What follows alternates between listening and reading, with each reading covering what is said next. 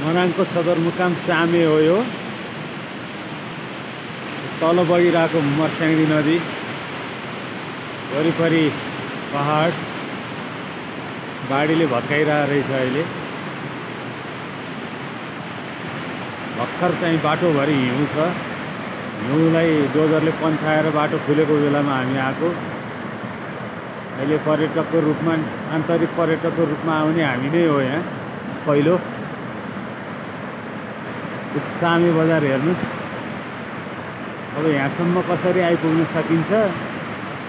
र यहाँबाट अगाडि मनाङ भन्ने ठाउँसम्म कसरी पुग्न सकिन्छ भन्नेको भिडियो चाहिँ म छिट्टै राख्नेछु। ल हेर्नुहोस्।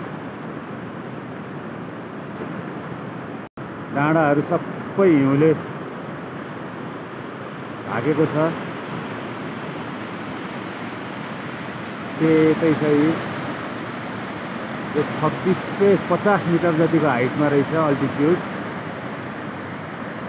एकदम जाडो छ चिसो छ